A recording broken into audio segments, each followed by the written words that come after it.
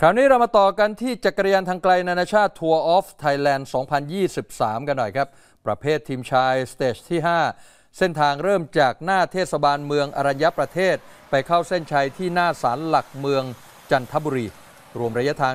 169 กิโลเมตรครับ stage นี้จางคิงกูจากเกาหลีใต้ครับ ปั่นเข้าเส้นชัยเป็นคนแรก ด้วยเวลา 4 ชั่วโมง 00.29 วินาที 00.29 นาทีครับ แต่ผู้นำเวลารวมเนี่ยเป็นของบัตไซคารเทสวายาจากมองโกเลียทำเวลาได้ 19 ชั่วโมง 49.08 นาทีครับ ก็ได้ครองเสื้อเหลืองติดต่อกันเป็น stage ที่ 5 แล้วนะครับสำหรับนักปั่นจากมองโกเลียคนนี้ ด้านนักปั่นไทยครับที่เข้าเส้นชัยอันดับดีที่สุดก็คือ สิบโทสราวุธสิริรณชัยได้อันดับ 7 ใน stage นี้ครับ คนที่เห็นให้สัมภาษณ์เนี่ยนะครับก็คือเสธ.หมึกครับพลเอกเดชาเหมกระศรี